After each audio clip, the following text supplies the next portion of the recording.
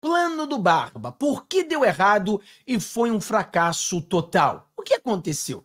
O Lula ele trabalhou durante meses para movimentar toda a população brasileira para manipulá-los e acreditarem uma grande jogada. Só que isso deu errado. Por que, que deu errado? Porque pesquisas mostram que as pessoas não acreditaram na fala do Lula.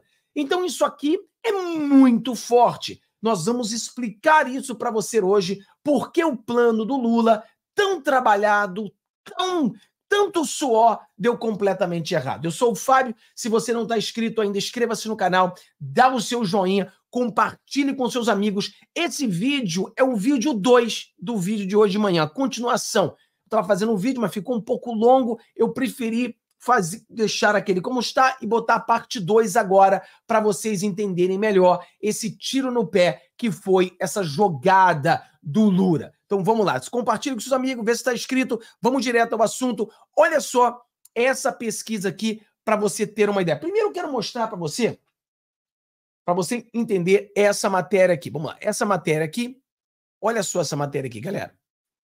Preste atenção. Vamos lá. Olha isso aqui.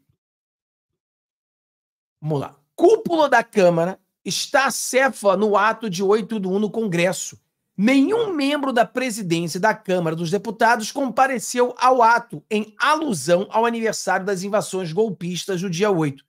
Ninguém apareceu da Câmara. Ninguém. Fábio, mas por que, que ninguém da Câmara apareceu? Bom, vamos dar mais uma matéria, vou botar mais uma coisa aqui para você ver. Eu fiz uma live ontem e hoje nós temos aqui o resultado de uma coisa aqui. Olha só isso aqui nesse 8 de janeiro para vários compromissos, o mais importante dele para tratar da dívida gigante de Minas Gerais que foi construída nas últimas décadas e que precisa ser solucionada. Estava previsto a minha ida a um evento institucional no Congresso, mas infelizmente recebi informações que ele se transformou num evento político e não irei mais. Sou totalmente favorável à democracia. Aqueles que praticaram vandalismo precisam ser punidos. E o Brasil precisa depender menos de política e mais de gestão para resolver os seus problemas. É isso que nós temos procurado fazer em Minas Gerais. Então, Estou aqui, aqui em Brasília, vê... nesse. Então, aqui nós vimos, pessoal, que, por exemplo, os deputados não quiseram estar ali. O Zema, que pensou em ir, mas depois viu que ia dar ruim, não foi. Muitas pessoas falam assim, mas Fábio, a, mídia começou a dizer que o Zema ia, e é aquela coisa que eu sempre falo para vocês, nós, conservadores, quando nós votamos para alguém, o Zema tem uma popularidade gigantesca em Minas, quando o seu povo ouviu dizer que o Zema iria, o que, que o povo fez? O povo criticou. As críticas são válidas, as críticas consertam o político. Por isso que eu sempre falei para vocês que nós de direita temos que parar com essa frescura.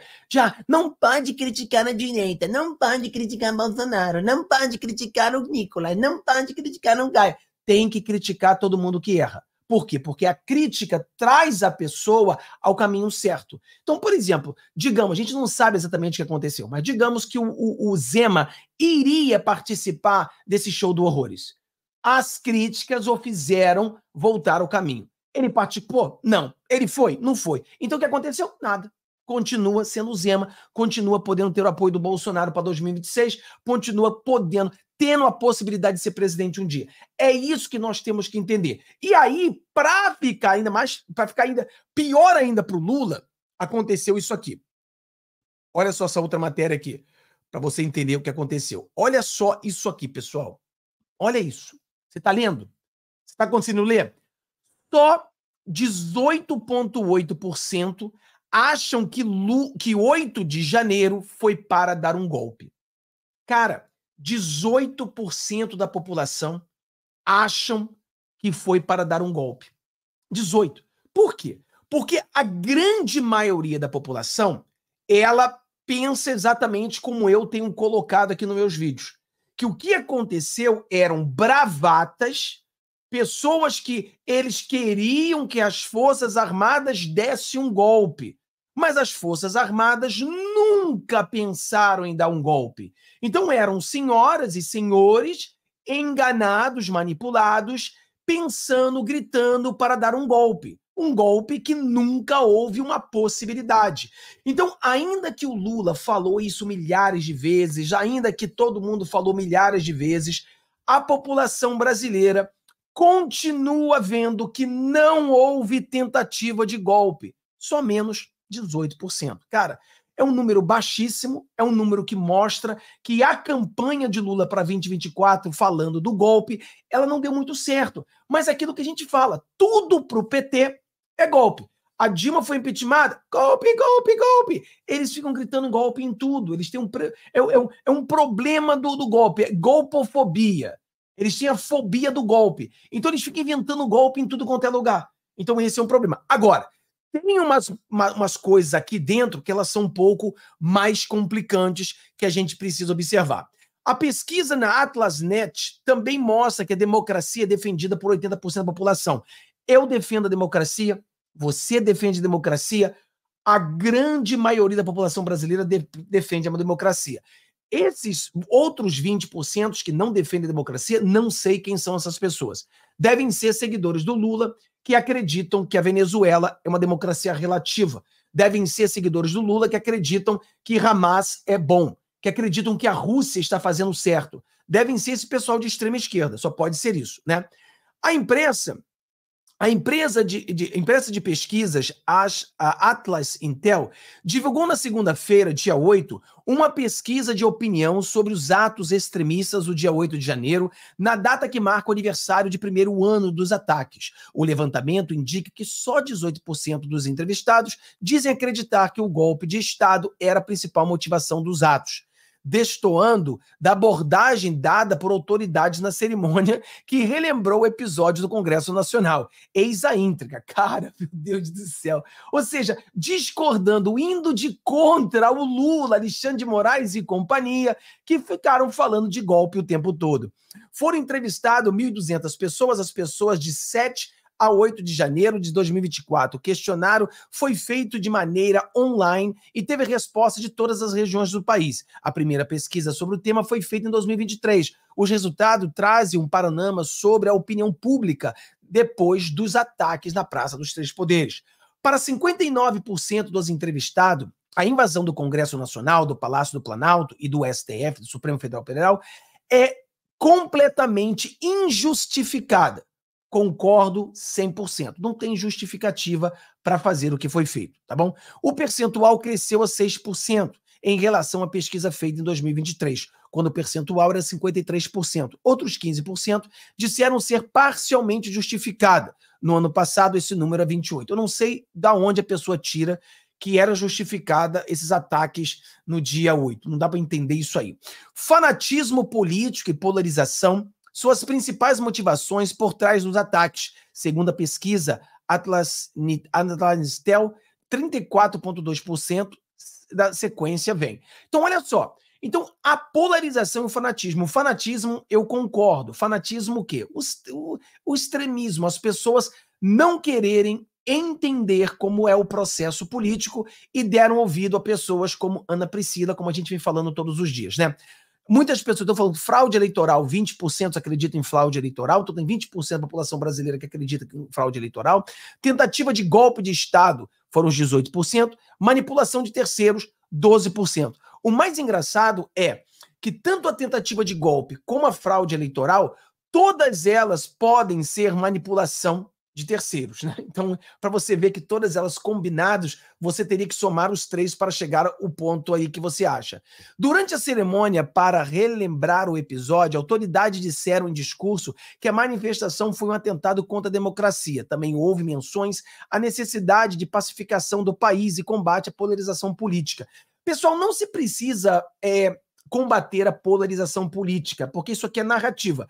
O Lula gosta da polarização política, porque a polarização política elimina qualquer competência ou concorrência de esquerda, e para o Bolsonaro também beneficia a população política, porque também elimina qualquer competição da direita. Então a polarização é uma jogada tanto da direita quanto da esquerda, para que no mais que é para que esses dois continuem lutando no poder para ver quem ganha as próximas eleições.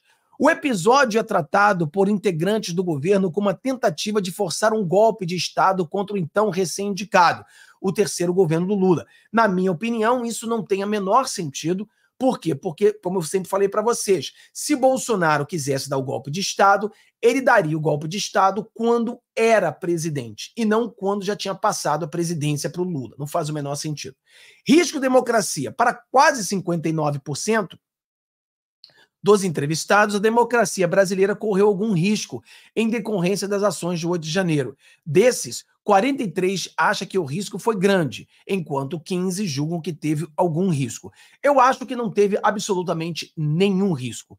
Fica difícil você entender as pessoas que dizem que pode ter eh, era um risco à democracia, 59%, sendo que só 18% acreditava em golpe. É uma coisa meio estranha.